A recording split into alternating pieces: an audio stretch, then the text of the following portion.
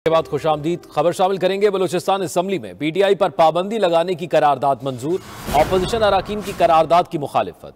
इजलास से वॉकआउट किया मुश्तर करारदाद। नून लीग के वज़ीर कानून और पार्लिमानी अमूर सलीम खोसा ने पेश की। मतन के मुताबिक पीटीआई ने मुल्क में इंतज़ार फैलाने की कोशिश की।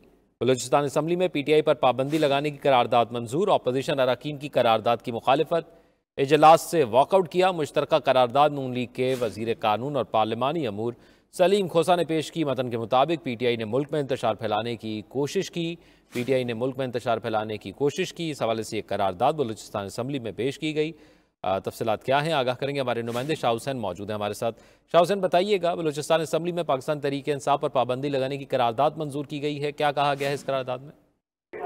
जी, बिल्कुल, ये करारदाद आज पेश हुई है। जो पाकिस्तान मुस्लिम लीग नू से ताल्लुक रखने वाले वज़ीर कानून पार्लिया महमूद सलीम कोसन ने करारदाद पेश की मुश्तर करारदाद थी जिस पर पाकिस्तान मुस्लिम लीग नू से ताल्लुक रखने वाले तमाम अरकान असम्बली और उजरा ने उस पर दस्खत किए थे। तो उसमें पाकिस्तान तहरीक इंसाफ पर पाबंदी लगाने का उसमें मुतालबा किया गया वफाकी हुकूमत से और करारदाद में ये कहा गया कि चूँकि पी टी आई नौ मई के वाक़े से लेके आज तक उन्होंने पुरतशद मुजाहरे किए और मुल्की इमला को नुकसान पहुँचाया। पाक फौज और सियासती इदारों के खिलाफ उन्होंने प्रोपेगेंडा किया, उनको नुकसान, उनके साथ को नुकसान पहुँचाया उन पर तशद भी किया।